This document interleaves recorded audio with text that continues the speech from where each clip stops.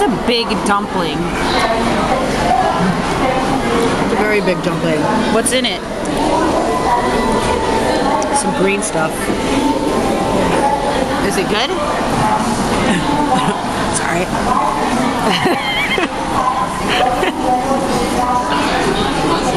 Try the fried chicken. Just traded mine in for some colder ones.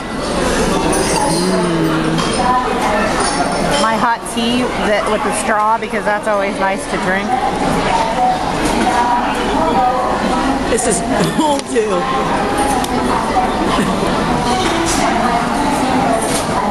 How is it? Cold. Was it good? It's chicken.